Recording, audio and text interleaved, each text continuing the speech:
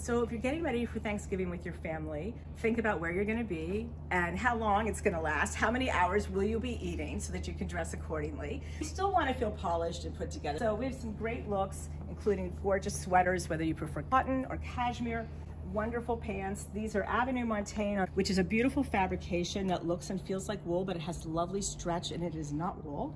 And I highly recommend that because again, you can look very polished and still be very comfortable. And if you're doing something that's a little bit dressier, we have lots of gorgeous options for you. Beautiful silk blouses, this from P. Sophia, Go Silk. Again, back to anything from denim to a dressier pant to even a skirt.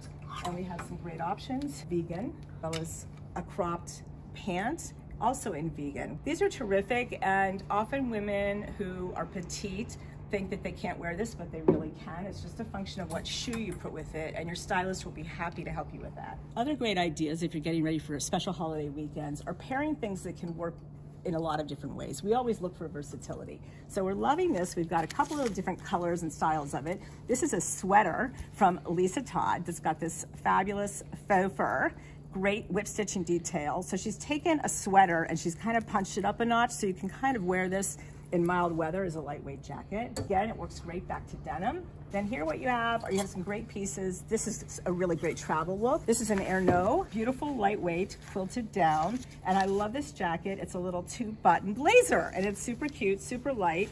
And one of my tricks about Herno is that when I'm flying, sometimes I will actually put it behind my head as a pillow. And then when I get to where I'm going, all I do is kind of shake it out and nobody knows that I actually use that to sleep on the plane. So really cute. This is a nice shape style, adorable with denim. You can wear it back over something more tailored as well. And then of course, L'Agence. We always have beautiful silk blouses from them.